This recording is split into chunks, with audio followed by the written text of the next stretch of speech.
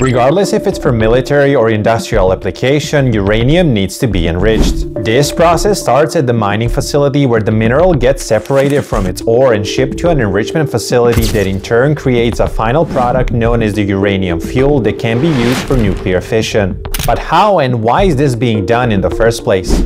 Well, uranium is fairly abundant mineral found around the world, but in its raw form it has a very low radioactivity and it's mostly comprised of the isotope uranium-238, which is not suitable for achieving nuclear fission. For this, uranium-235 needs to be extracted and concentrated in order to raise its level from around 0.7% in its natural form to at least 3 or 5% in order for it to be regarded as a nuclear fuel. This is usually being done in gas centrifuges where uranium ore concentrate gets turned into a uranium hexafluoride gas that is then spun in order to separate heavier U-238 from the lighter U-235. Although there is no exact number, on average it takes around 2.5 tons of uranium ore that contains around 0.7% of U-235 to produce 1 kilogram of uranium fuel enriched to around 3 to 5%. To be considered weapons grade, uranium typically needs to be enriched to around 90% with isotope U-235.